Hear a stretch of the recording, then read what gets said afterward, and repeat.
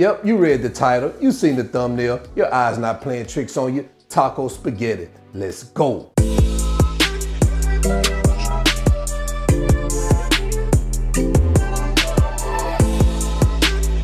All right, so here are the ingredients we're gonna use for today's recipe, guys. Not many ingredients, but I absolutely love this recipe. So right here we have some ground beef, we have some diced canned tomatoes here, we have our spaghetti pasta back here, we have our cheese, some fresh garlic, fresh cilantro, some taco seasoning, onions, and right here, we're gonna use some beef broth. Now, if you don't have beef broth, you can go ahead and use water. That is fine. So these are the ingredients, guys. Let's go ahead and get started. All right, so to get started, we're gonna crank up our cooktop and we're gonna start off by adding a pound of ground beef.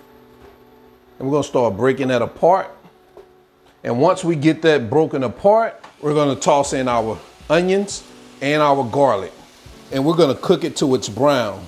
So we're gonna cook this all the way through, guys. And guys, even though I normally use some taco seasoning, I'm still gonna dash it with a little salt. Just a little bit.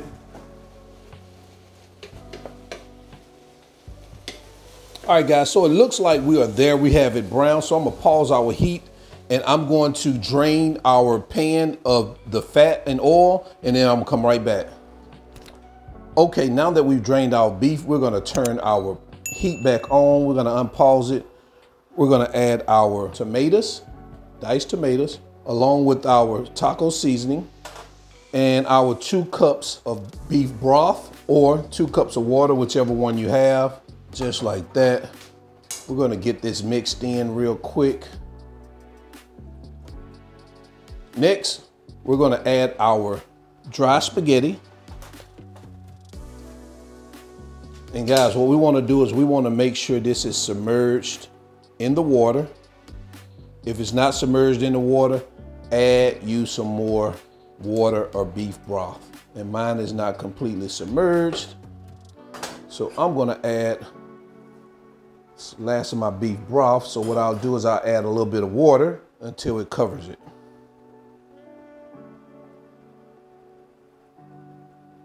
See, that's how you want it. You want to make sure that this is submerged in the water to make it cook, to allow it to cook rather. So now we're gonna bring it to a boil. As you can see, we're at a boil. So what we're gonna do now is we're gonna cover that up. We're gonna reduce the heat to low and we're gonna let it cook for 12 to 15 minutes, all right?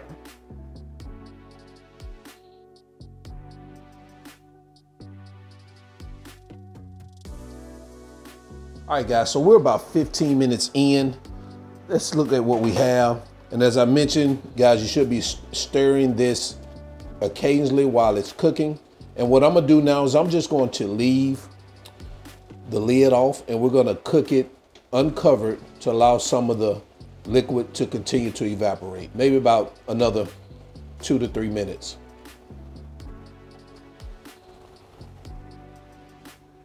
All right, so we're about two or three minutes in. As you can see, the liquid has reduced. We're gonna put this on pause, give it a quick stir, a stir. Next, we're gonna add our cheese on top.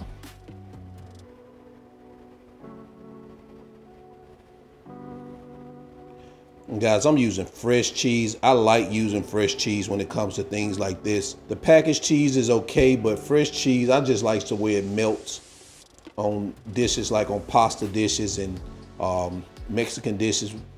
That really calls for fresh cheese instead of the the packaged cheese because it has that packaged cheese has that little film on the top of it and it sometimes it's harder to melt but this actually tastes better now what we're gonna do is we're gonna cover it up and we're gonna let it sit there for a couple of minutes until the cheese has melted. All right, so let's go ahead and remove the top. Oh man, we take a look at that. So what we're gonna do now is we're gonna take some fresh, I have cilantro. If you have parsley, you could take parsley, you know, just to give it a little color. Guys, take a look at that right there. And there you have it, guys. Taco spaghetti.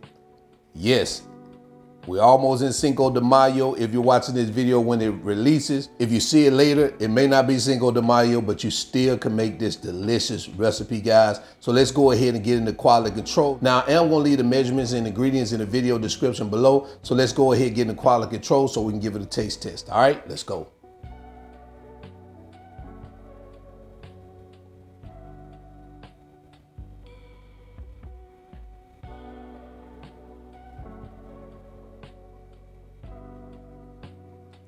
So we are here for quality control. We need to test this taco spaghetti out. I put me a little bit in a bowl right here, and we're definitely gonna test it out. Got me some taco sauce right here. Yeah, I'm gonna go, I'm gonna go all in. Taco sauce too, yeah, I'm gonna go all in. I'm gonna put a little bit on the side, cause I like to test it out without the sauce first. So I put a little bit on the side. And let's see. Let's take us a little bit of this. Oh man. Try this out. Oh, yes. Oh, man, this is good. Mmm. Mmm. Mmm. Try this again. Man, this is delicious. Wow. Some more of taco season. So guys, if you're watching this, it's around Cinco de Mayo time, so you wanna make a big pot of this for the people who coming over and celebrate Cinco de Mayo with you. So until then, this is all wings everything. And remember guys, I ain't no chef. I just cook a lot, that's it. And I'm out, peace.